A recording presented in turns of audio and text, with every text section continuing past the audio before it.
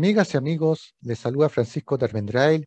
Muchas gracias nuevamente para encontrarnos en el sitio en Facebook Seminarios de la Guerra al Pacífico, un sitio dedicado a difundir eh, sobre la historia de la Guerra Pacífico vista en nuestro país, con el aporte de destacados académicos, académicas e investigadores sobre la materia. En esta oportunidad, para mí va a ser un honor presentar a dos destacados expositores, quienes nos van a exponer justamente sobre los batallones cívicos de Talca y Concepción, su aporte en el marco de este conflicto internacional. Sin más preámbulos, voy a presentar a continuación a los expositores que participarán en esta conversación y que ustedes también pueden ser partícipes eh, comentando justamente durante esta transmisión y que también, por cierto, sus aportes van a ser importantes para el cometido. En primer lugar, deseo presentar al señor Roberto Francisco Zagal Ahumada. ¿Cómo está, estimado Roberto? Muy bien, Francisco. Muchas gracias por la invitación. Muchas gracias a usted por aceptar justamente la invitación para participar de esta interesante actividad. Eh, el señor Roberto Francisco Zagal Ahumada es ingeniero forestal, es supervisor de la Central de Departamento de Protección contra Diseños Forestales de CONAF en la región del Maule. Además, es oficial de reserva del regimiento Talca. El año 2016 participó en la comisión para conformar una unidad histórica, el Batallón Cívico Movilizado Talca, eh, en su participación en la batalla de Huamachuco.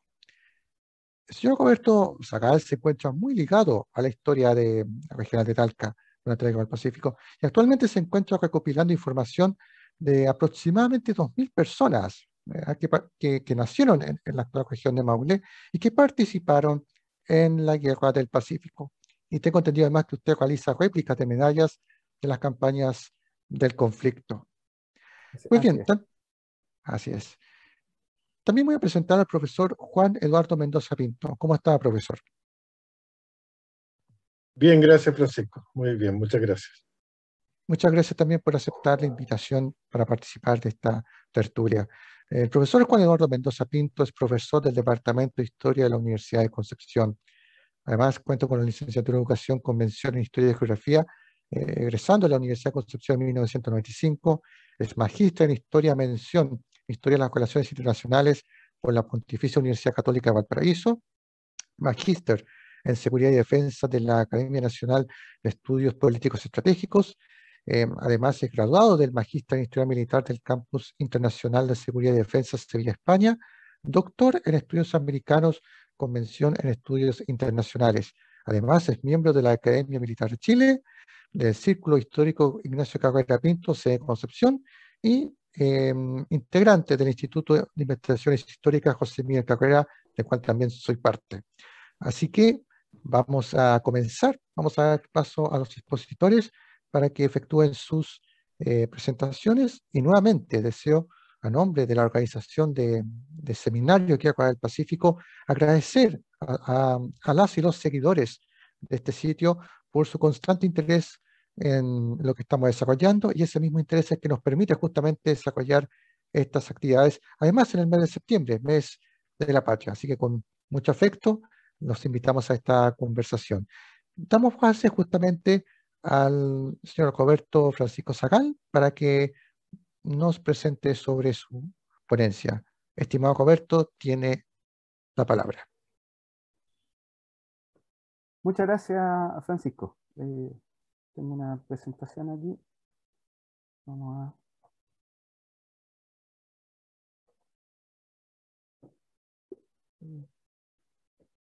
¿Se... ¿La aprecian ahí ya? Muy bien, sí.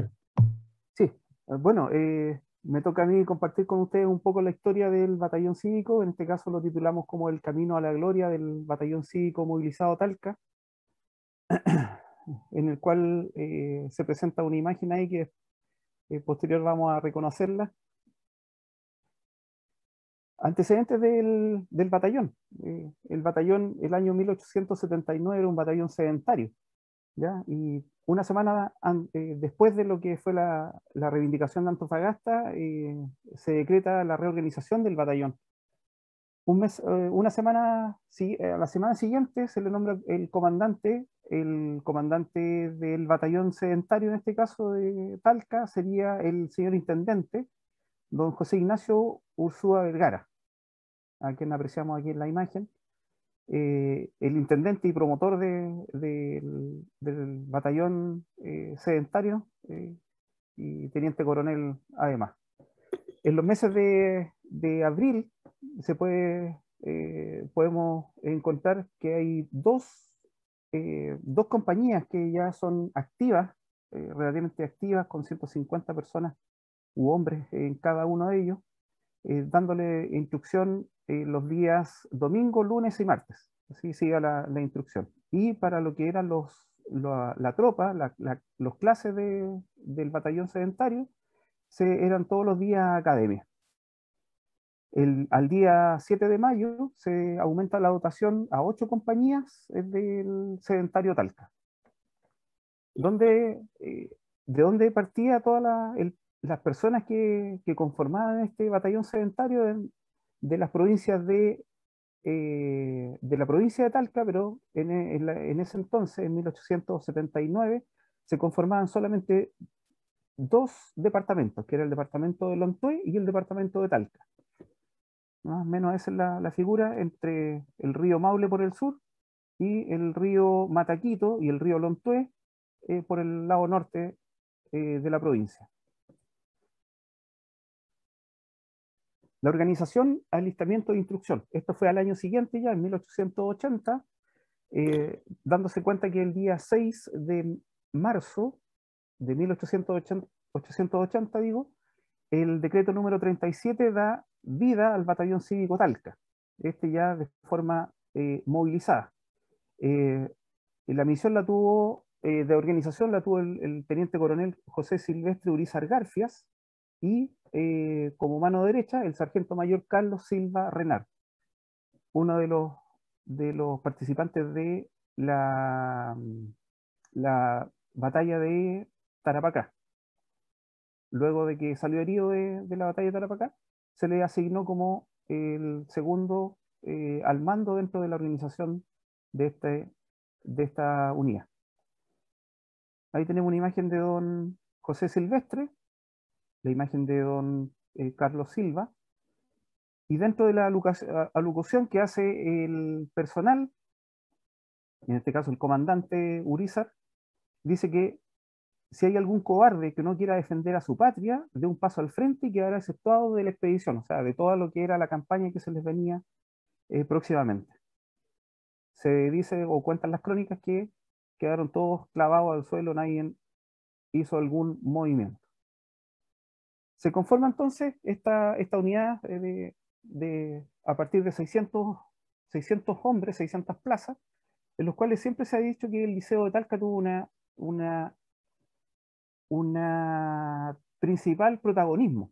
¿ya? Eh, se dice profesores y estudiantes que estuvieron ahí. Además de todo lo que eran eh, los demás oficios de, de, las personas de la época, sastres, gañanes, eh, zapateros, otros artesanos, eh, normalmente padres de familia o los hijos mayores de esta. El batallón cuenta con un, eh, como poder de fuego con un fusil Comblain de un calibre de 11 milímetros, eh, de origen europeo, belga en este caso, de, de muy buenas características. Al 21 de marzo ya se deja el cuartel cívico, donde estaba de forma sedentaria, y se traslada al segundo patio de lo que es el Liceo de Hombres de Talca, el Liceo de Talca, eh, que en esa oportunidad ya se encontraba en lo que es actualmente el edificio de las escuelas concentradas. Esto queda en, Talca, digamos, eh, en, en, la calle 3 Oriente, entre la 1 Sur y 1 Norte, o sea, a tres cuadras de lo que es la Plaza de Armas. Los uniformes eran los uniformes normales de, cada uno de los de la época, el famoso eh, pantalón rojo y la guerrera era azul, eran con faldones, un, poquito más abrigador, digamos, para la temporada. Ya sabemos que después hubo algunas modificaciones con respecto a lo que era la, el, el terreno y el teatro mismo de operaciones. Y también venía con una, con una, mm, con una bota, normalmente de color descarnado, un color amarillo, que era el famoso calamor. Dentro de lo que son las, las crónicas de la época, se tiene que hay una, hay una pequeña descripción y se dice, se, se lee la autorización que le dio el gobierno al profesor del liceo de Talca, don Ruperto Eleodoro Vergara, eh, para el, permiso que, que solicita para separarse de su empleo mientras presta los servicios en el ejército. El profesor de historia, eh, dada toda la, efervescencia eh, que había por participar en, la campaña, eh, solicitó al gobierno la, autorización y le fue concedida tomando uno, tomando una de, de, las compañías a su cargo. Vale decir también que el, el profesor Ruperto Leodoro Vergara es hermano del intendente de la época. Abajo encontramos a uno de los alumnos del mismo liceo, y que hay un registro de, matrículas donde dice Romilio Azócar, también uno de los ex alumnos o alumnos ya eh, eh, del, mismo liceo.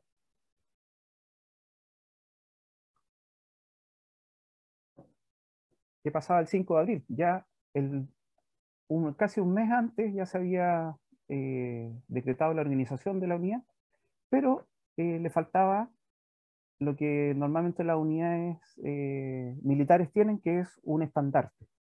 Y este estandarte de combate eh, fue hecho por la esposa del intendente, bueno, e, e, ella, a, ella la cabeza, pero también trabajado por alumnas de algunos colegios importantes de la época, y entre todas ellas eh, financiaron y trabajaron con respecto a lo que era el estandarte, de dimensiones de 1.32 metros por 1.38, era de, color azul porque era una unidad militar de, de la Guardia Nacional eh, y con una estrella al centro de cinco puntas que era hecha en, pequeñas planchas muy finas de plata.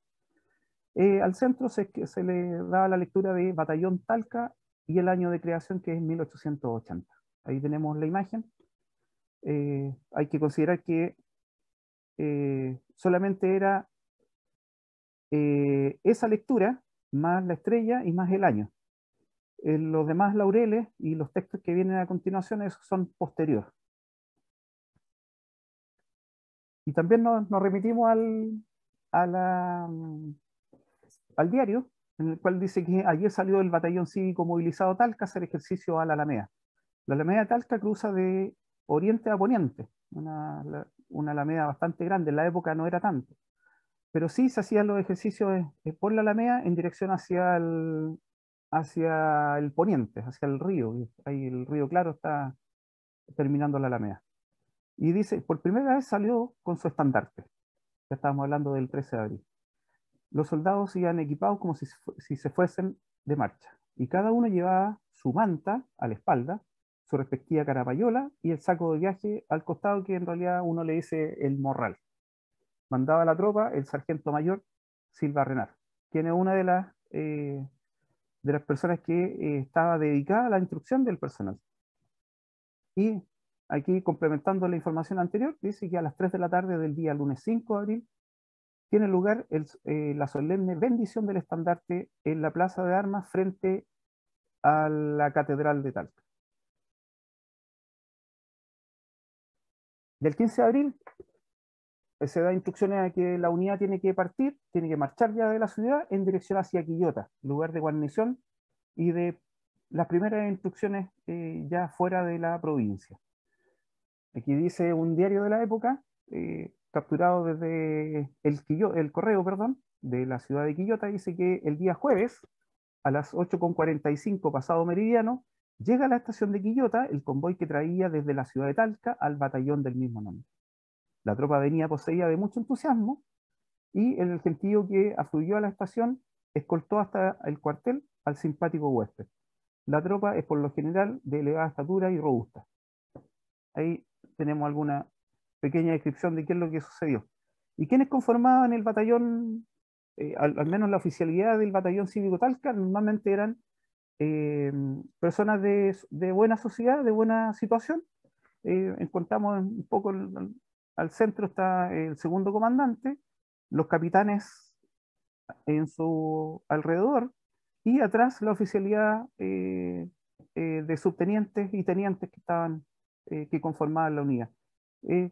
muchos de ellos eran agricultores, eran, poseían algunas propiedades alrededor de Talca, una ciudad eminentemente agrícola, estaba produciendo lo que era trigo, madera, ganado, y de ahí salieron estos a, vestir el uniforme y, ser parte de lo que iba a ser la campaña de 1879.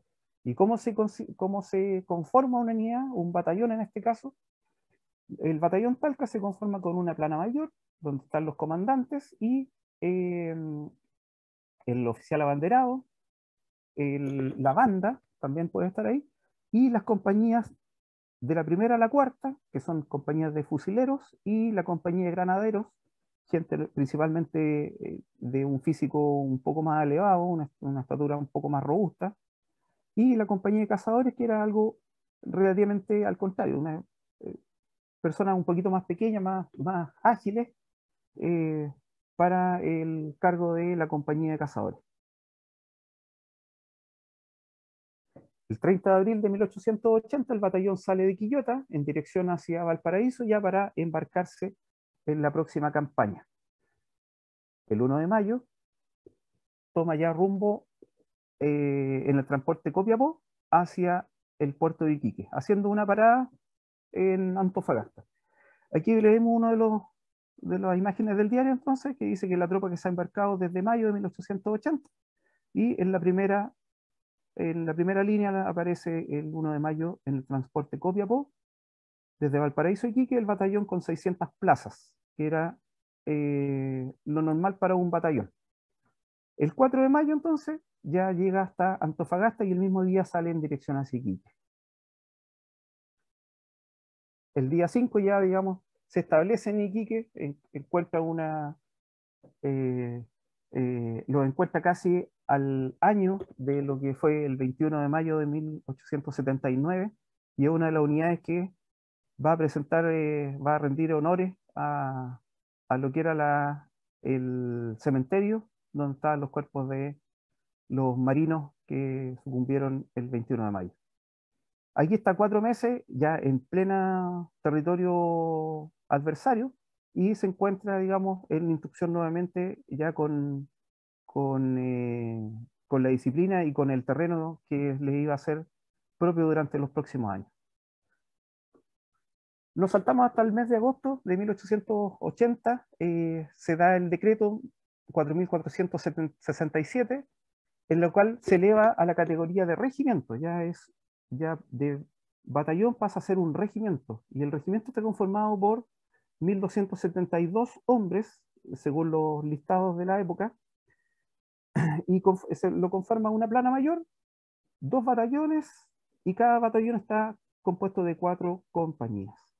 Ese sería el esquema, digamos, eh, en lo cual estaban cada una de las compañías, ya eran solamente fusileros, las cuatro compañías, cuatro de la primer batallón y otros cuatro del segundo batallón. Y ambos batallones conformaban el regimiento Talca más la plana mayor. ¿Qué se le viene a la, a la unidad? A participar en la campaña de Lima y principalmente en la expedición de Lynch un organizador que, eh, que se hizo notar cada vez más, eh, eh, don Patricio Lynch, y es una de las unidades que participa de esta expedición, que su fin era poder hostigar a cada uno de los, de los sectores que sean, o los territorios peruanos, que tengan mayor cantidad de ingresos económicos. Entonces, de una forma, digamos, de amedrentar al, al enemigo era eh, golpeándolo por, eh, eh, la parte económica. Entonces se embarcan en, Arica, solamente 550 hombres, era solamente el batallón Talca, no estamos hablando del regimiento, solamente el batallón, y, se reúnen 550 hombres al mando de, del coronel Urizar Garfias. el capitán ayudante, que es don Alejandro Cruz, que a cargo de la recepción de los nuevos contingentes que van a ser parte del regimiento Talca. La expedición de Lynch contaba con 2.600 hombres. El regimiento Talca, dentro de toda la expedición que entraba a los, entraba a los puertos, eh, pedía contribuciones. Si no habían, no habían contribuciones, ellos, eh, una forma de presionar era eh, destruyendo todo lo que eran las fábricas, todo lo que eran las bodegas, y así se fueron haciendo, haciendo cada una de, las de las jornadas presión para ver si reaccionaba el, gobierno peruano. Al día 29 de septiembre y como resultado de las expediciones, eh, en el mes de octubre se obtienen grandes ganancias económicas. Dinero recaudado, destrucción de zonas más productivas que generan las ganancias e ingresos del gobierno peruano.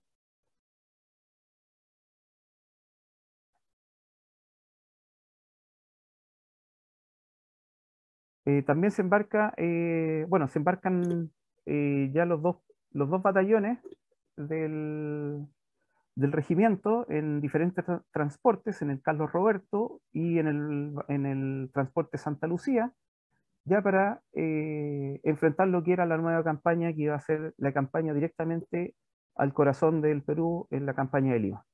El 15 de noviembre parte desde, desde Arica a las 3 de la tarde y se ponen en dirección hacia eh, los diferentes departamentos eh, para poder trabajarlo em, y establecerse en ello. Aquí viene eh, la división, eh, la nueva organización que tiene el ejército expedicionario, y parten en la primera división, encuadrados en la primera división, la primera brigada de la primera división, eh, al mando del el general Villagrán. Ocurre un incidente que tiene que ver con respecto a la situación del, de la comandancia de la división, eh, eh, hubo que realizar un cambio que lo ordenó el general Baquedano, y al día 20 de, noviembre el regimiento Talca se encuentra en el puerto de Pisco, donde se establece como base de operaciones para enfrentar la próxima, eh, las próximas expediciones. Bueno, aquí tenemos una imagen del, de los, trayectos que hicieron en la campaña de, perdón, la expedición de Lynch, ya llegan a Chimbote, pasan a la bahía Supe, de Chimbote salen hacia el norte, vuelven a Eten y de nuevo se regresan hacia el sur. La campaña de Lima, eh, ya el 13, se pone en marcha ya por tierra la unidad de la primera brigada, en este caso de la de Lynch, y el regimiento Talca le, le, toca participar eh, como, unidad de infantería. La brigada la tiene que hacer de, forma terrestre, desplazamiento, y se van por todos los sectores que, desde el sector de Pisco, empiezan a Tambo de Mora, Hincha Alta, Cañete, Asia, Mala, y llegando a lo que es, eh, bueno, la caleta de Santa María, en realidad Curayaco, que eh, digamos es donde se iban a posicionar junto con las demás divisiones, eh, la segunda y tercera divisiones que iban a ir por, por mar.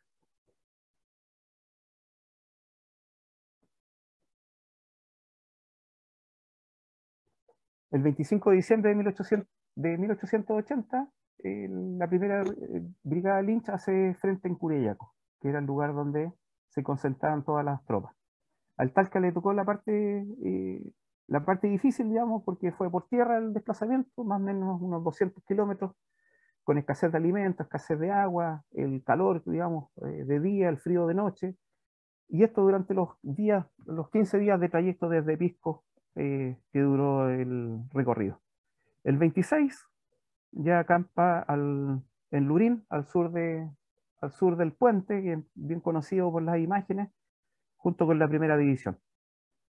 Eh, consta de 1.158 eh, soldados, 33 oficiales y 3 eh, jefes superiores. En realidad, con respecto a lo que es la batalla de, Chorrillo y Miraflores, eh, hay muchos textos que, indican cuál fue el comportamiento de todas las unidades, pero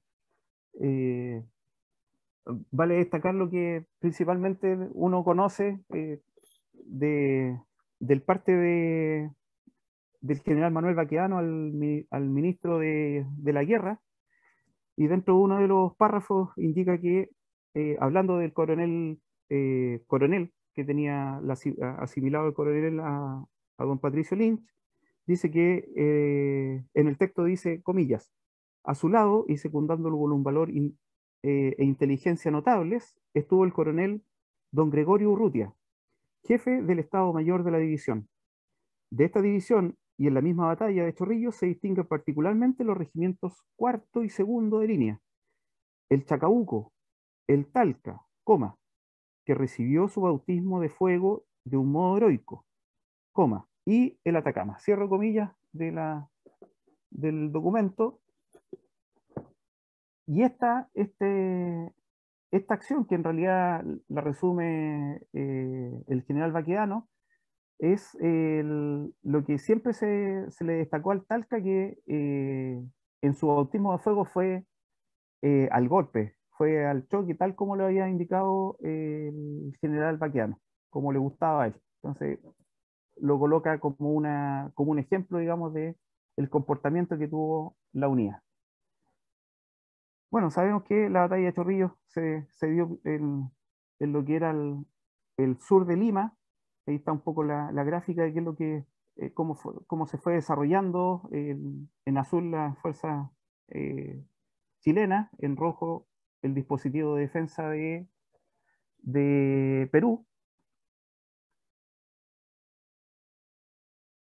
Y podemos extraer también de, de, los diarios de la época, dice que del regimiento Talca, dice lo siguiente, el diario Nuevo Ferrocarril, dice que, comillas, el regimiento Talca, que por primera vez entra al, fuego y que se batió junto con el inmortal Atacama, se cubrió de gloria en el ataque de Chorrillos. El caballo del jefe, señor Urizar García, recibió tres balazos, pero no lo voltearon. Así de bravo eran los, los soldados. ¿Qué pasaba después? Ahí estaban las defensas y por donde eh, aproximadamente estuvo el Talca atacando. Más o menos esa es la... Eh, bueno, el Atacama primero, el Talca eh, iba a retaguardia de, del Atacama. Finalmente ya cuando estaban en el ascenso ya se mezclan las unidades, hay, hay, oficiales de un mando dando instrucciones a otro. Afortunadamente salió dentro de todo bien el, el, el movimiento, dentro de todo lo, lo, que podría ser el caos quedó todo eh, eh, finalmente con la victoria de Chorrillo. Luego del ataque, ahí eh, están los, eh, todo lo que era la, la batalla con las bajas y toda la, todo lo que, lo que correspondió a, lo, a los, al recoger los heridos y los eh, muertos que quedaban en, en, en, el sector.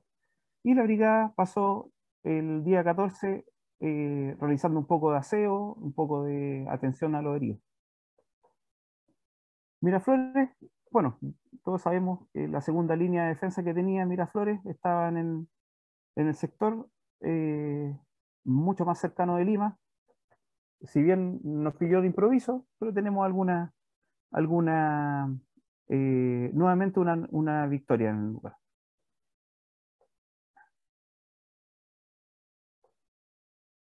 Ahí tenemos un poco la descripción de lo que fue la, la batalla también de Miraflores.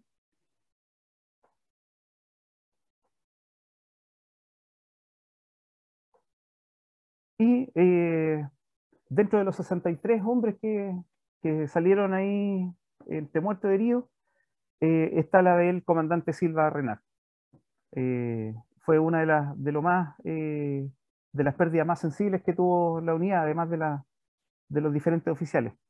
Ahí está también eh, una descripción de, la, de un diario que decía cuál era las, lo, lo, lo, que vivían los soldados. Dice, al oír esto, el primer herido estaban, estaba intentando relatar qué es lo que decían los heridos en un hospital, eh, se, se, secó una lágrima eh, que cayó de, una de, uno de sus ojos. dice, hemos sufrido tanto, Señor, por nuestro pueblo, algo harán de hacer por nosotros. Es uno de, las de los comentarios que hacían los soldados heridos después de todo lo que era eh, atravesar el desierto y enfrentarse al enemigo. Bueno, hay, hay 55, por lo menos 55 hombres que llegaron a Talca, entre ellos podemos ver algunas heridas que eh, le ocurrieron eh, después de toda esta eh, acción de guerra que tuvieron ellos. luego la, división se fue mm, hacia el norte. Y vemos ahí en Huacho, al norte de Lima, la unidad del batallón Talca con sus compañías formadas, primera, segunda, tercera, la banda al fondo, cuarta, quinta y sexta. Después del regimiento, las unidades se contrajeron nuevamente a batallón. Y eso es lo que le sucedió al Talca y como lo apreciamos, en la imagen.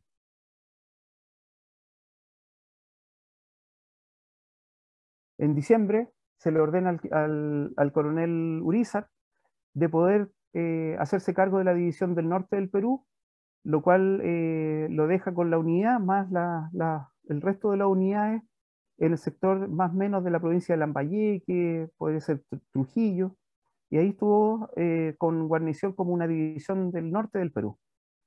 El día 21 de febrero de 1882, la, lamentable noticia de la muerte del coronel Ubizar eh, a causa de la fiebre amarilla. Deja, su, deja la comandancia y la pasa a secundar eh, el coronel Alejandro Cruz Vergara. Eh, lamentablemente, eh, la fiebre amarilla, como una fiebre infecciosa, se tuvo que hacer eh, sepultación inmediata del cuerpo y quedó allá en el Perú. Aquí estamos vemos a don Alejandro Cruz Vergara ser, el primer comandante o el segundo comandante, digamos, después del fallecimiento de Urizar Garfi.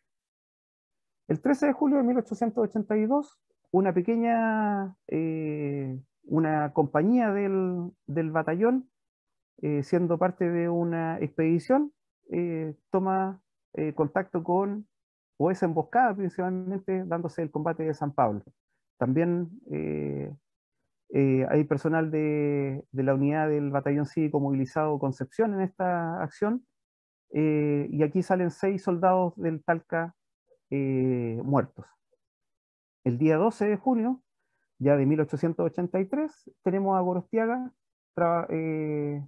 comandando la expedición y la división que da por resultado la campaña de eh, Huamachuco, la que se termina con la batalla de Huamachuco y la destrucción completa de los últimos, eh, las últimas fuerzas eh, que disponía el, Perú para hacer frente a, al, a, la, a la continuación de la guerra. O sea, con esto ya nosotros eh, se termina lo que es la expedición eh, de Huamachuco con la batalla. Y por último, lo que es el desenlace o la acción de guerra de Huamachuco, ahí, tenemos las fuerzas chilenas, que después se entran en, una línea de batalla así, y las fuerzas eh, peruanas con una línea de batalla a lo que era el oriente de Huamachuco más o menos 4.000, 2.000, 4.000 metros de distancia y se enfrentan al, son del Viva Chile. Hay una pequeña descripción de cómo fue la, la batalla. El día 22 de octubre se firma el, término de la, del conflicto y el día 23, al día siguiente, eh, la unidad del Talca estaba en Callao, se desplaza a Lima y es parte de una de las unidades que ve bajar la bandera del Palacio de los, de los Reyes, siendo uno de los últimos en salir de Lima en dirección hacia, eh, hacia eh, su patria. El día 20 de mayo ya vuelve el regimiento Talca al Paraíso y eh, lo conducen 600, o sea, son conducidos 662 hombres, los cuales 320 presentaban algún tipo o síntoma de enfermedad. Y por último, los muertos en la acción de guerra son 132 en acciones de guerra 194 eh, por enfermedades y da un total de 326. Y el día 25 de abril de 1885 se declara el receso del batallón cívico movilizado tal. Los reconocimientos, la medalla por la campaña de Lima, la medalla por la campaña de Guamachuco y la medalla por la ilustre municipalidad de Talca.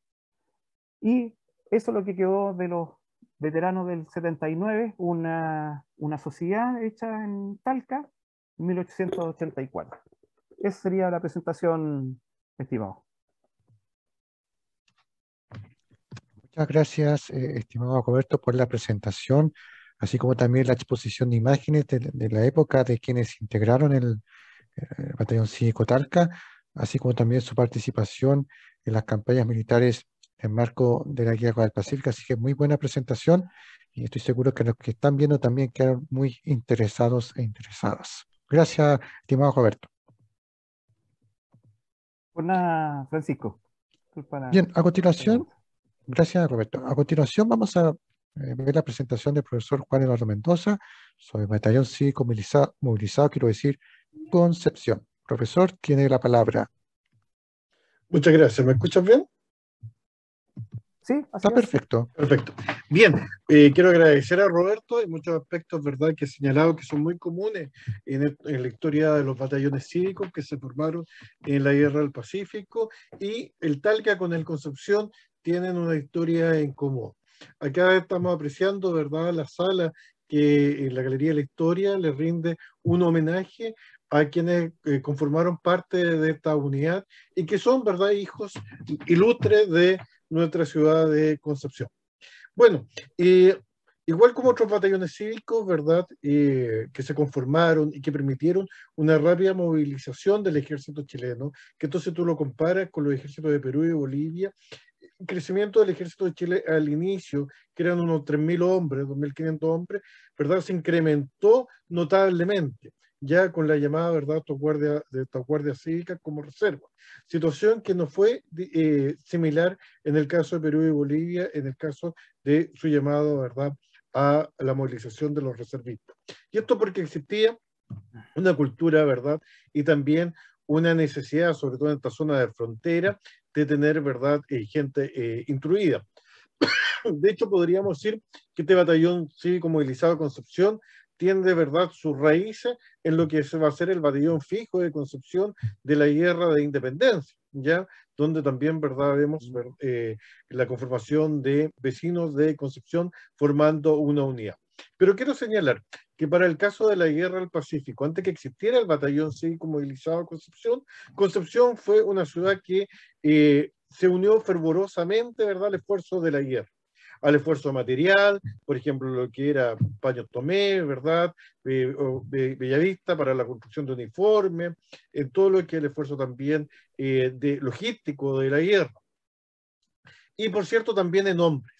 ¿ya? Hombres que se enrolaron en un inicio en distintas unidades del ejército o de la armada y que luego comenzaron entonces a conformar bajo la unidad de voluntarios de Concepción una unidad que estaría preparada, ¿verdad?, para la guerra que será el núcleo de este batallón movilizado de Concepción, que va a ser una de las unidades que se forman en la ciudad, ya que hay otra que se conformó, que fue el batallón Carampagne, que también participa con eh, soldados de, nuestro, eh, de nuestra ciudad. Pero nos referiremos en este caso a lo que fue el batallón cívico movilizado Concepción. Tal como señalaba Roberto, el rol de los intendentes fue muy importante. Y en el caso de nuestra ciudad, eh, el intendente Víctor Lamas, ya Víctor Lamas Miranda, un gran personaje, un gran patriarca de, de la zona, fue un gran impulsor de esta unidad. Y un aspecto que tal vez nos puede llamar un poco la atención. Eh, una de las cosas que apela eh, Víctor Lama es a la necesidad de conformar una unidad con oficiales y soldados de la ciudad de Concepción. Lo cual se debe a que eh, mientras existía la Guardia Cívica y se crea esta unidad de voluntarios, ya que tenían distintos cuarteles a lo largo de nuestra provincia, la oficialidad era santiaguina eran de las unidades que no habían partido del sur. Y esto causaba, ¿verdad?, cierto requemor. No olvidemos el año 1879, son 20 años nomás de la guerra civil de 1859, ¿verdad?, en que enfrentó nuestra ciudad también con Santiago. Entonces, por eso, ¿verdad? En este manifiesto que él hace en julio, el 13 de julio de 1879, señala la composición del Ejército Nacional, donde deja en claro, ¿verdad?, que eh, lo que está en medida de la autoridad significa un duro golpe para la moral, debido a que el elemento provincial y autónomo, autónomo eh, es muy poderoso, es un poderoso estímulo en la composición de las fuerzas militares, especialmente como el nuestro y en una guerra más de sentimiento que de intereses como la que nos ha arrastrado el Perú. Es decir, ¿verdad? La importancia de contar con la ciudad con una propia unidad tal como entonces surge a raíz del decreto supremo del 2 de enero de 1880, firmado por el presidente Aníbal Pinto, que como podemos ver, ¿verdad? Y como también mostraba Roberto, es de fondo azul, aunque ahí ya no se ve de verdad, pero era azul con la estrella y decía Batallón Concepción. ¿Ya? Se va a formar sobre la base de la Guardia Cívica y va a nombrar al comandante José Ezeguel como el comandante de esta unidad. Acá podemos ver eh, la oficialidad del Concepción, partiendo por su comandante José Seguel, ya, y el segundo comandante Herminio González, cuya tumba está en el cementerio eh, de Concepción. ¿ya? Eh, fueron muy importantes, sobre todo en el caso del primero, en lo que en la primera fase de la, de la participación del batallón en la campaña de, de Lima, sobre todo, y en cambio el segundo comandante Herminio González, que al mando de la unidad para lo que va a ser la otra fase, que es la campaña de la sierra. Y tenemos entonces acá, ¿verdad?, eh, eh, los oficiales, todo de las familias, ¿verdad?, Penquita, Astorga, Saldes, eh, del Orto, un inmigrante, ¿verdad?, italiano, héroe de la batalla de Huamachuco, ya Vinemelis, pariente, ¿verdad?, de quien fuera el constructor de nuestro plano regulador de la ciudad, en fin, ya ahí vemos otro cuadro de la oficialidad de Concepción y precisamente el capitán Alejandro Benimelis, ya en una de sus fotos. Más fotos de los grados de capitán, de subteniente, tenemos a Villar, Urrejola, Letelier, Rodríguez, Benavente, Hawks, Pinto, Mendoza, ahí también Joseph, en fin, varios, Roselot, Vivanco, eh, Riesco, ya, lo que demuestra también que eh, en este batallón se fundían todas las clases sociales, ya eh, no solamente, ¿verdad?, era una, una suma, ¿verdad?, enrolar, ¿verdad?, al pueblo, sino que era la aristocracia penquista con, con eh, los distintos sectores de la sociedad. Bueno, el batallón Concepción va a ser trasladado primero a Valparaíso y desde ahí, ¿verdad?, partirá al Teatro de Operaciones, pero tal como el tal que hay otras unidades, debe pasar por un proceso de, de de aclimatación, de, de, de adaptación, diría, al medio, que como vemos en esa fotografía, es muy distante, ¿verdad?, a lo que era el verde del sur de Chile, que era el paisaje desértico. Y ahí vemos la localidad de Calana, en Perú, donde el regimiento, ¿verdad?, el batallón primero, ¿verdad?, después regimiento, va a dedicarse al adiestramiento físico y también militar y la instrucción, ¿verdad?, que va a formar parte de su diario vivir. Acá tenemos una rutina del regimiento de la levantada, ya muy temprano, ¿verdad? A las 5 de la mañana, ya la lista de parte, el primer café, los ejercicios de campaña, la instrucción de recluta, ejercicios de campaña, ya eh, llamado lista, luego descanso, tropa, en fin, ya la, la, ración de combate, ya el rancho, ya hasta pasar a las 21.30 a silencio. Ya esto los días sábados y los días domingos era amenizado, ¿verdad? Con algún cerco de campaña, con actividad, ¿verdad? De la banda, con juegos, carreras de burro, carreras a caballo y una serie de otras actividades que son tan importantes para mantener la moral de la tropa. Bueno, eh, llega la hora de la verdad. El batallón Concepción entonces debe viajar ya al teatro de operaciones. En primer lugar va a quedar en, una condición ¿verdad? de resguardo de la línea de Pisagua a Dolores, ya junto con el batallón Aconcagua y con el cuadrón carabinero de Maipú. Esto para la protección del Estado Mayor del general Baquedano que se encontraba en Tacna. El regimiento se como movilizado, entonces va a formar parte de las operaciones de campaña a Lima. Cuentan entonces con 690 hombres que van a ser enrolados en la tercera división. Ahí va a estar entonces el batallón Concepción al mando de su comandante José Seguel y la división al mando del famoso verdad chillanejo coronel Pedro Lagos. De Calana a Chilca y de Chilca a Lima. Ya el 14 de diciembre de 1880 se encuentran prestos para enfrentarse a su destino. Arribaron ya a tierra ariqueña como parte, como se hablaba, de la tercera división de Lagos. Ya recién el 24 de diciembre será el turno de tocar tierra por parte del batallón Concepción, que ya llega a la caleta Curiayaco, y una vez finalizados los desembarcos, se eh, recurre, ¿verdad?, a la descarga de víveres, forraje y armamento. Finalmente, el, regimiento va a acampar en la zona del Urib. Recordemos que Chile ya tenía el dominio marítimo luego de la batalla naval de Angamos, por tanto, podía desplazar sus fuerzas, ¿verdad?, a través de las vías marítimas. Los primeros enfrentamientos más relevantes que le toca enfrentar a nuestro batallón de la ciudad de Concepción va a ser la batalla de San Juan y la batalla de Chorrillo, que son las batallas previas para la conquista de Lima. El 13 de enero, ya el batallón Concepción, incorporado la división del lago, enfrenta el desafío de mantener la primera línea defensiva y enfrentarse con las fuerzas peruanas al mando del coronel peruano Miguel Iglesias en el Cerro San Juan que será, perdón, el Cerro Moral en el Morro Solar. En el Morro Solar, que se da la batalla de San Juan, ¿verdad? Es el lugar, ¿verdad?, de bautizo de fuego de nuestra unidad, quien eh, recibió un fuerte embate de las fuerzas también peruanas, ¿eh? hay que señalar.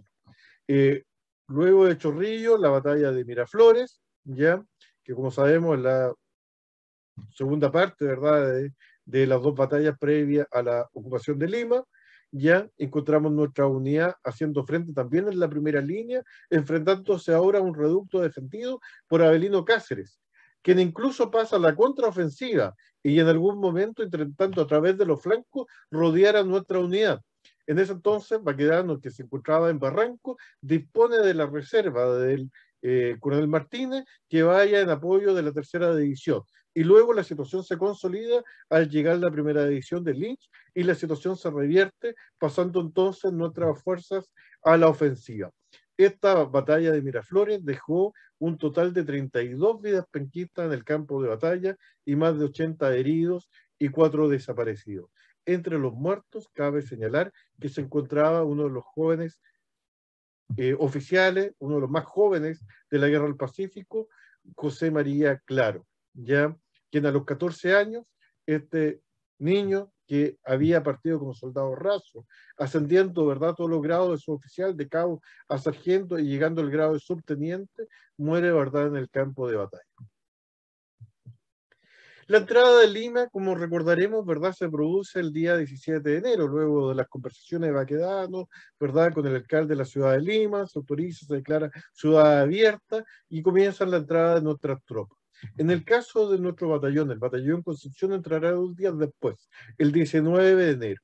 Y tenemos algunos escritos, ¿verdad?, de el escribano del regimiento, que va relatando eh, la descripción de la geografía, del paisaje, cómo va cambiando del desierto a lo verde, las alamedas, las construcciones de una ciudad, ¿verdad?, imponente como era la ciudad de los Virreyes, Lima, y sobre todo el contacto con la población ya que él veía con cierto, eh, diríamos, eh, resignación cómo entraban las unidades militares que él señalaba impecablemente vestidas con sus cañones Krupp relucientes, centellantes, dice, al sol. Ya eh, entraron entonces orgullosos y tomaron posesión de la chacra de Aliaga, donde se instala nuestro batallón Concepción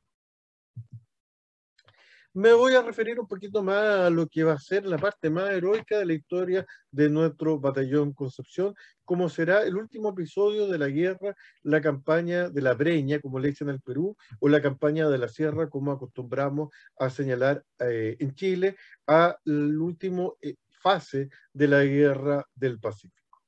Porque en esta, en esta campaña que eh, siempre caracterizamos como una guerra de guerrilla que se libra, ¿verdad?, en la zona, ¿verdad?, eh, montañosa, ya eh, de, del Perú, donde entre, los, entre las batallas, ¿verdad?, más significativas, hasta el combate de la Concepción, ¿verdad? Y recordamos, ¿verdad?, cómo eh, en este territorio montañoso, como recordaba también Roberto, la fiebre amarilla y otras enfermedades eh, fueron eh, demandando, ¿verdad?, a, nuestra, a nuestras tropas que se enfrentaban bajo el asedio de el, el, famoso, ¿verdad?, comandante peruano, el brujo de los Andes, Cáceres, ¿ya? Bueno, esto se libra en el otro sector, ¿verdad? En el sector del Departamento Libertad. ¿Ya? Por tanto, está alejado de lo que va a ser teatro de operaciones, pero está a la vez conectado a lo que va a ser la maniobra de combate, donde finalmente se va a lograr poner fin, ¿verdad?, a, a esta guerra de guerrilla que estaba librando Cáceres y obligarlo a una batalla a campo abierto. Pero para ello, ¿verdad? La situación tampoco fue fácil. Hay que señalar entonces el batallón Concepción, ya eh, junto, formaba parte de la división Martínez, del general Aristides Martínez, ya junto con el Zapadores, el Lautaro, los granaderos a caballo, y después, ¿verdad? También se unirá el Talca, ya estará también presente. Ya tal como señalaba Roberto, una de las batallas fue la de San Pablo. Ya aquí estuvieron unidos nuestros batallones que hoy día estamos presentando, el batallón Concepción y el batallón Talca. Y veamos la fecha, el 13 de julio de 1882, es decir, a pocos días de lo que había sido el combate de la Concepción, y eh, al parecer, ¿verdad? Ya nuestro ejército había, había sacado una lección aprendida de no dejarse emboscar o de encerrar, ¿verdad? En, en estos espacios eh, serranos, montañosos, ¿verdad? Tan eh, conveniente, ¿verdad?, para la guerra de guerrilla y tan difícil para la defensa del perímetro. Eso fue lo que ocurrió precisamente en este llamado combate de San Pablo, donde nuestras unidades, ¿verdad?, enfrentaron a los eh, jefes peruanos, Justiniano Borgoño y Calirgos Quiroga, ya eh, que enfrentaron, ¿verdad?, eh, en, en, la zona, ¿verdad?, de la localidad de San Pablo.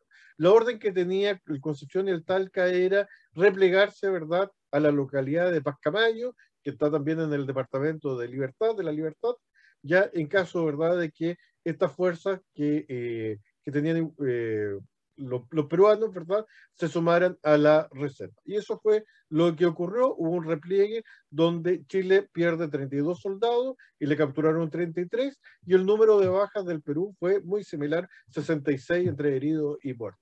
¿Ya? Nosotros podríamos decir que fue en, lo, técnico un empate, ¿ya? Eh, la campaña de la, de la sierra va a proseguir, ¿verdad?, en, en el norte, ¿ya?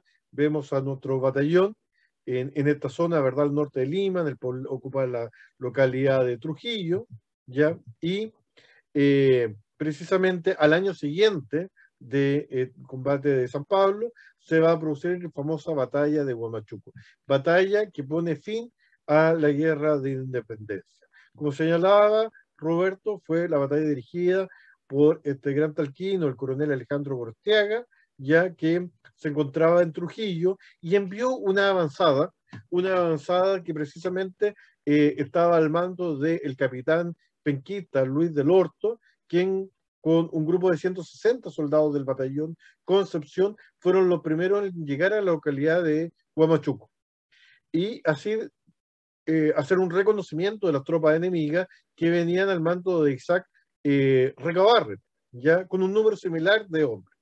Eh, la orden que tenía el capitán del Horto era que si Recabarren se unía al grueso del ejército de Cáceres, debían retroceder a la posición del cerro eh, del Zaguas, ya que se ve ahí en, la imagen. Ya hecho que eh, ocurrió, ya. Y por otra parte, el coronel, el coronel Cáceres ya intentó atacar el grueso de las fuerzas que se dirigían hacia Huamachuco ya donde venía el resto de nuestro batallón al mando de Herminio González, que ahora era el comandante de, nuestro, de nuestra unidad. Eh, cabe señalar que esta batalla de Huamachuco transcurre eh, por varios días, no fue solamente el 10 de julio, sino que hay enfrentamientos previos, ya como veremos, ya de hecho eh, la cantidad de hombres que, que reúnen es más o menos similar, ya de Chile y, y de Abelino Cáceres. Digo de Abelino Cáceres porque había otro ejército al manto de iglesia que estaba en la, zona de Arequipa, habían otras unidades, pero la unidad de Cáceres eran unos 1.440 hombres y Chile tenía una cantidad similar de unos 1.300 hombres, ¿verdad? Entre los que estaba el batallón Concepción y el batallón Talca. En todo caso, ¿verdad? Eh, si bien eh, había una equiparidad eh, numérica, en el caso del poder de fuego de nuestros batallones era más eh, fuerte ya por el, tema logístico que, eh, que abastecía, ¿verdad?, eh, a nuestros, nuestros soldados. En cambio, el drama, ¿verdad?, del Perú siempre era que tenía una diversidad de calibres, diversidad de fusiles y de armas, lo cual hacía, ¿verdad?, más engorroso el tema logístico. Bueno, el 9 de julio nuevamente, ¿verdad? Comienzan las eh, actividades de un fuego cruzado, ¿verdad? Donde una unidad de reconocimiento se enfrenta ya a la fuerza del ejército peruano, pero será el día 10 de julio, al inicio, ¿verdad? En la mañana, con una neblina, cuando comienza, ¿verdad? Esta batalla, con un avance de aproximadamente 200 eh, eh, soldados chilenos que se enfrentan al coronel peruano José Mercedes Puga. ¿ya? Bueno, el desenlace que se va produciendo y que se van involucrando el resto de las fuerzas chilenas, ya, y que salen de, la altura del son a la, a la, zona baja, ya, pero se ve enfrentado a todo el grueso de las fuerzas enemigas que comienzan a presionar. Y la línea chilena entonces comienza a buscar, ¿verdad?, el apoyo a los pies del Cerro Sazón, e incluso un poco más en la altura. Y Cáceres vio en esta posibilidad una victoria, a poder aplastar, ¿verdad?, al ejército chileno, y la verdad es, que eh, estábamos en una situación bastante apremiante hasta que Gorostiaga eh, ordena, ¿verdad?, una carga de caballería al comandante Sofanor Parra, ¿verdad?, quien con sus cazadores del desierto carga y produce entonces el contraataque de la fuerza de infantería que se abren paso a la bayoneta. Y Cáceres, que estaba esperando, ¿verdad?, una gran victoria ahí con su Estado Mayor, ve, ¿verdad?, cómo se desploma esto, ya, y las fuerzas chilenas arremeten, e incluso llegando a su campamento, ¿verdad?, el Estado Mayor sale eh, eh, eh, escapando, ¿verdad? Sale la huida, e incluso él, ¿verdad? Que gracias a su caballo no logró ser atrapado y salvar con vida de esta situación. Situación que para muchos historiadores peruanos, ¿verdad? Lo pone en una situación distinta a otros héroes peruanos como Bolognese o Grau, que murieron, ¿verdad?, en el campo de batalla. Sin embargo, ¿verdad? Eh, Cáceres, después rearma otro ejército, pelea, lucha, ¿verdad?, contra Iglesia, después llega a ser presidente, así que le toca, ¿verdad?, eh, otra experiencia. Y bueno, volviendo, ¿verdad?, a lo que fue para nuestro ejército, esta batalla entonces pone fin a, a, esta lucha interna entre distintos jefes peruanos y finalmente se firma la paz, ¿verdad? El tratado de paz con, eh, primero, ¿verdad? De mentira con, con con, el Perú, ¿ya? Y el inicio entonces, ¿verdad?, de, eh, de un proceso diplomático que finalizará después en 1883. Eh, tenemos, ¿verdad?, eh, que destacar la figura del capitán del Orto, ya que nació en Italia, era un inmigrante italiano, llegó de muy niño, ¿verdad?, a la ciudad de Concepción, integró el, el, batallón cívico movilizado con el grado de capitán y participó como, eh, como hemos visto, ¿verdad?, en las batallas de Chorrillo y Miraflores. Ya ascendió a capitán ayudante y tuvo un rol muy destacado en la batalla de Guamachuco, donde fue herido dos veces. Regresa después de Concepción, igual con el resto del ejército, ya en 1884, y participa después en la pacificación de la Araucanía, ascendiendo al grado de sargento mayor. Luego se ve involucrado en la lucha, en la guerra civil de 1891, apoyando al bando balmaceísta, lo cual significó su retiro o su baja después de la batalla de Placilla, ¿verdad? Y fallece en Santiago en 1925. Eso por destacar, ¿verdad?, a uno de los grandes oficiales de este batallón. Ahí tenemos una foto de los veteranos, ya en Parque Ecuador, ¿verdad? Antes conocido como la Alameda de Concepción, era donde tenía su sede la Sociedad de Veteranos de Concepción, quien en 1912, en el Cementerio General de Concepción, van a, entre otras sus obras, va a ser el mausoleo que va a dar lugar a todos los hijos de esta tierra que participaron en el combate de la Concepción y que tú, como bien conoces, Francisco, dio lugar al Panteón eh, eh, de la Patria, ¿verdad? Que fue remozado y fue reinaugurado y donde se rinden eh, homenaje, ¿verdad? A los soldados que lucharon en la guerra del Pacífico. Bueno, ahí vemos precisamente la imagen de la reinauguración ya del episodio y esta sala, ¿verdad? Que fue inaugurada durante este periodo de pandemia, ¿verdad? Eh, el año pasado, precisamente el 10 de julio, ya como un homenaje, ¿verdad? A lo que fue la participación de nuestros penquistas en la guerra del Pacífico y que ahora, ¿verdad? Está disponible, así que a quienes nos están escuchando, ojalá tengan la posibilidad de ir a visitarla y conocer entonces cómo Concepción aportó eh, a la guerra como el resto, ¿verdad? De las otras ciudades, como hemos escuchado en este caso, la de Talca. Así que muchas gracias, Francisco. Eso es, eh, en síntesis, lo que quisiera señalar y quedo atento a tus consultas y preguntas. Muchas gracias, profesor Juan Eduardo Mendoza, por la excelente presentación de ambos en realidad, tanto profesor de, de, Roberto y profesor Juan Eduardo, porque lograron de alguna manera, de manera didáctica, eh, mostrando imágenes y mapas de campaña, la participación de, ambos batallones, ¿no es cierto?, de Talca y, de Concepción, y, también permite un poco descentralizar también el tema de la guerra del Pacífico, porque siempre, eh, desde mi percepción al menos, no sé qué piensan ustedes, siempre está la visión de Santiago el tema, ¿verdad?, eh, que ha un poco eclipsado con las campañas navales, ¿no es cierto?, lo que pasó en Iquique, principalmente, después la participación de, mm, de los regimientos de Santiago, ¿verdad?, eh, combate la Concepción, etcétera, que está bien, me parece perfecto, pero en el caso de los batallones cívicos de tal que Concepción falta más información. O sea, me explico, existe información, pero falta difusión quizás. Ah, puede, ser, puede ser un, tema ahí. No sé si están de acuerdo en eso, como pregunta ambos. Primero a Roberto y después al profesor Juan Eduardo. Pregunta, comentario, si se puede decir.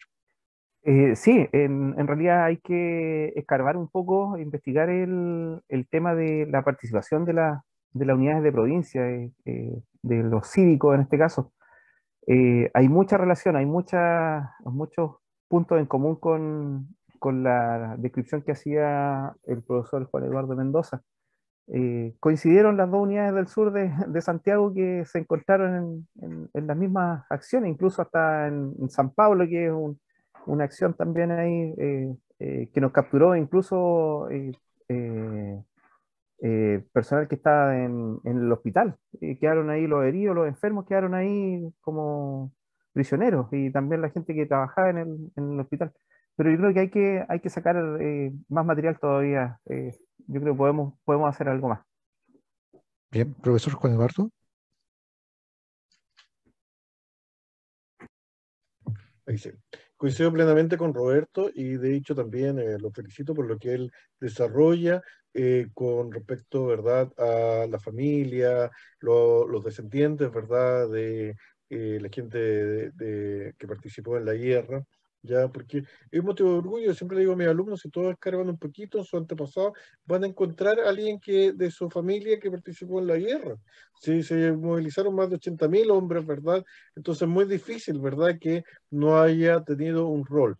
Y además de, del rol de, de marchar a la guerra, eh, las provincias fueron muy relevantes en todo lo que es el apoyo logístico, el carbón de la zona de Arauco, como señalaba al principio, eh, la vestimenta, el uniforme acá, de verdad, en Bellavista Tomé, eh, los cueros, todo el esfuerzo de guerra. Y yo creo que esa es una gran diferencia, ¿verdad? Porque uno, uno lee, ¿verdad?, lo que es la, la historia de la guerra del Pacífico en Perú y en Bolivia pero sin ir, digamos, al tema, ¿verdad?, de lo que fueron las polémicas por lo que se pueden generar eh, por el tema, ¿verdad?, de las campañas, sino que en lo que es el espíritu que había, ¿verdad?, eh, en los países hay que señalar que Chile tenía un espíritu, una fuerza, un ánimo, ¿verdad?, de unidad nacional y eso fue lo que lo llevó a vencer.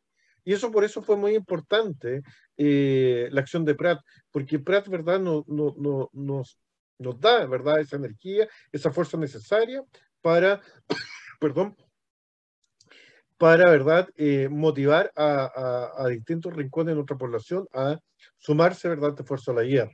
Y yo creo también que Ignacio Herrera Pinto hizo lo suyo para la última etapa, para la etapa final de, de la guerra, porque el ejemplo de los 77 chacaucanos, ¿verdad?, que va a generar, ¿verdad?, dentro de la sociedad chilena, también la aspiración de poner fin a esta guerra que precisamente, como hemos relatado, se va a producir, ¿verdad?, en Huamachuco y donde eh, tanto penquistas como talquinos, ¿verdad?, eh, nos llevamos el mayor esfuerzo, ¿verdad?, de esta batalla. Sí, perfecto. Es, muy importante recordar esos acontecimientos eh, justamente porque dieron su vida por nosotros y les permitió construir el país que tenemos hoy. Em, el profesor, estimado Roberto, mencionó algo muy importante y que también mencionó el profesor Juan Eduardo, el tema de que eh, en general la guerra al Pacífico no distinguió clases sociales en, el proceso de ancolamiento. Eh, ¿Por qué menciono esto? Porque por lo general siempre se cita, algunos historiadores, no sé, dicen que supuestamente solamente sectores populares participaron en la guerra y que la aristocracia no participó.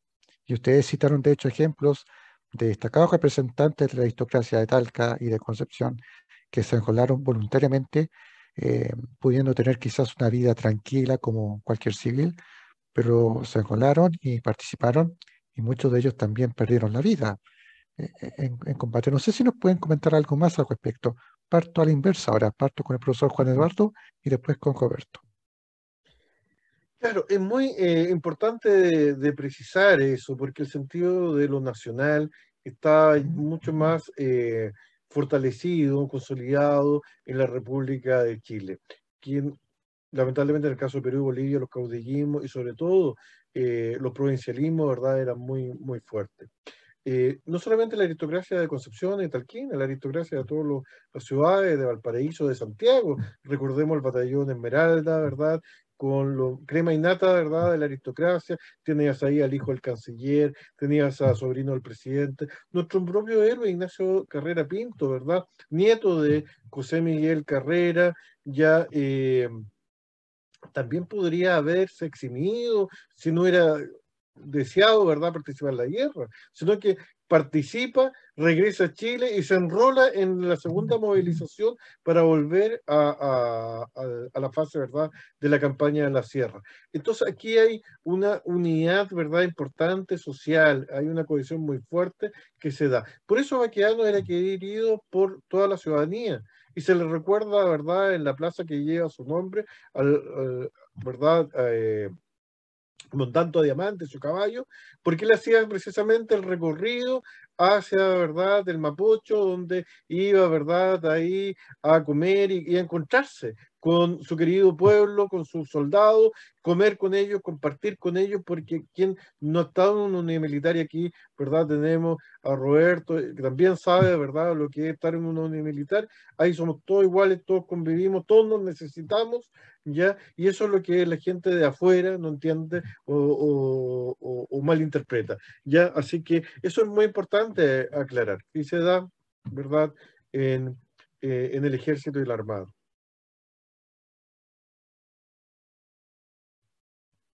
Eh, estimado Roberto, por favor.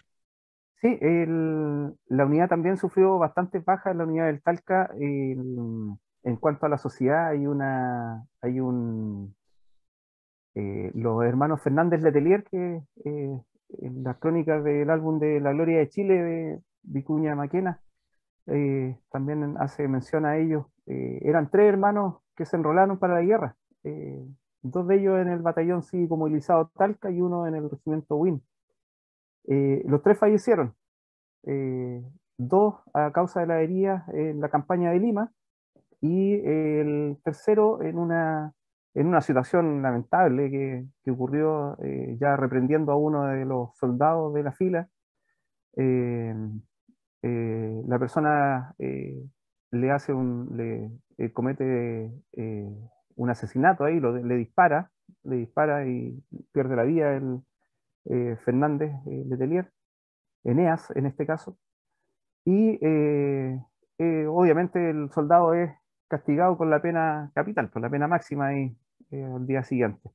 Y los dos hermanos que a causa, como lo había dicho, a causa de, la, de las heridas graves que tuvieron, fallecieron en Valparaíso y en Santiago y eh, fueron sus cuerpos trasladados ya hacia el cementerio de Talca.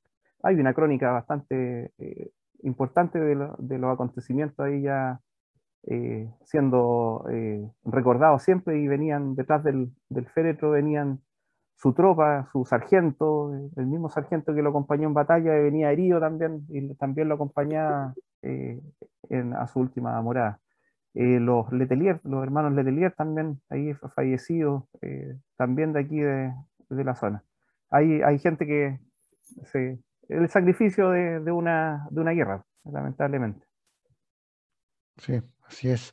Em, bueno, para ir sacando esta actividad que ha estado muy interesante y deseamos, eh, a nombre de los tres, agradecer a nuestros amigas y amigos que, que, están viendo esta transmisión o la van a ver después, va a quedar en el sitio en Facebook Seminarios de la Guía del Pacífico. Bueno, esta actividad se marca en el mes de la patria, en septiembre, ¿ah? mes en que recordamos eh, aquel 18 de septiembre, fecha en que se constituyó eh, esta Junta de Gobierno Provisoria, que sería el puntapié inicial, si lo decimos en términos futbolísticos, para lo que sería el proceso de emancipación nacional. Eh, y también cobra relevancia este mes porque justamente ustedes lo acaban de mencionar bien, ambos, recordar a quienes dieron su vida por nosotros en las campañas. Eh, muchos penquistas o amigos de Talca que partieron, ¿no es cierto?, en tren desde estas ciudades hacia Valparaíso y posteriormente en buque hacia el Perú, y muchos de ellos no volvieron, o si regresaron, regresaron heridos o con alguna secuela. Eh, muchos de ellos se agruparon en estas agrupaciones, ¿verdad?, de, veteranos en Concepción y Talca. Em, este mes es especial para eso, ¿verdad? Para recordar a quienes dieron su vida por nosotros. No sé qué relación pueden hacer ustedes al respecto. Parto por eh, Roberto. Estás con el micrófono apagado. Ahí, sí, gracias. Sí. Eh, nosotros tenemos muy, por lo menos lo que es la, la unidad histórica, nuestra, nuestra reserva tiene una unidad histórica que queremos justamente eh, entregarle a la comunidad en, alguna oportunidad, digamos, eh, de extensión, de poder dar a conocer en, la Plaza de Armas, por ejemplo, o en la Alameda, eh, formar, formar una unidad histórica, la unidad histórica y que la gente vaya interactuando con nosotros. Nosotros no le vamos a hablar de, de, de mm, acciones de guerra, ni de tácticas, nada de eso. Vamos a ver, que queremos o, nuestra intención es que la gente conozca cómo vivía el soldado en esa época, qué, alimentos, con qué se alimentaba, eh, eh, cómo dormía, cuál era su vestimenta, eh, cuáles eran las instrucciones que tenía, así como el profesor también Juan Eduardo lo mostró, cuáles eran los horarios que ellos tenían para ciertas, ciertas actividades, eh, uno dice que el almuerzo se sirve, no sé, a la una de la tarde, bueno, ellos era mucho más temprano para ellos un almuerzo. Eh, y la actividad continuaba. Eh, yo creo que eso nosotros como, como talquinos en este caso, nos gustaría poder entregarle a la comunidad, hacer, hacer un, campamento, digamos, establecernos en un campamento y que la gente interactúe con nosotros. Ese es como, como el legado que tenemos de, por hacer, digamos, de parte de los, de los soldados del 79. Muchas gracias, estimado Roberto, y qué linda labor, muy, justamente para que la comunidad se sienta como parte, como si hubiese estado presente en campaña. Eh, profesor Juan Eduardo, tiene la palabra. Bien, sí, también felicito a lo que están haciendo en Talca, nosotros también acá en Concepción con esta sala que está en la Galería de la Historia, que nos recuerda, ¿verdad?, que nuestra ciudad por algo fue la capital militar del Reino de Chile. Ya acá tenemos de la historia desde que nace Chile, ¿verdad?, ya eh, como base de operaciones eh, para la guerra de Arauco y después, ¿verdad?, la guerra de independencia. Así que sería muy bonito también que eh, en nuestra ciudad eh, recordáramos los distintos episodios, como tú también sabes, ¿verdad?, de la guerra de independencia, ya eh, la ruta histórica, el rol, ¿verdad?, que cumplió el batallón Fico Concepción y otras unidades que, que, que fueron tan eh, importantes y donde participaron los, los penquistas. Y en particular en el tema de la guerra del Pacífico, nosotros tenemos la suerte, ¿verdad?, acá en la provincia de contar con nuestra mayor gloria, ¿verdad?, en lo que fue, ¿verdad?, eh, eh, la guerra del Pacífico como el regimiento Chacabuco, que su cuarta compañía, ¿verdad? Viste también una, unidad histórica, ya que participó en la sierra y, que nos recuerda, ¿verdad? Eh, la gesta de heroica, ¿verdad? De Carrera Pinto y su chacabucano. Eso también, ¿verdad? Es monumento vivo de la ciudad así como también tenemos, ¿verdad?, una réplica de la iglesia de la Concepción, tenemos, ¿verdad?, eh, nuestra ciudad, ¿verdad?, hay otra zona de recuerdo, y bueno, ni hablar, ¿verdad?, el, la reliquia, el buque reliquia histórica, el Huáscar, ¿verdad?, que es el segundo museo más visitado, ¿verdad?, en Chile, y que nuestros colegios, ¿verdad?, eh, acostumbran a llevar a los estudiantes hacia a, conocer, ¿verdad?, lo que es parte de nuestro patrimonio, nuestra historia. Por tanto, eh, hay muchos elementos, hay muchos temas, ¿verdad?, que se pueden profundizar, que se pueden, ¿verdad?, eh, sobre todo, como decía Roberto, eso, que, que, llevarlo, aterrizarlo a un lenguaje más cotidiano, eh, que sea, ¿verdad?, más accesible a toda la población para que se empape y comprenda todo el esfuerzo, ¿verdad?, de las generaciones pasadas.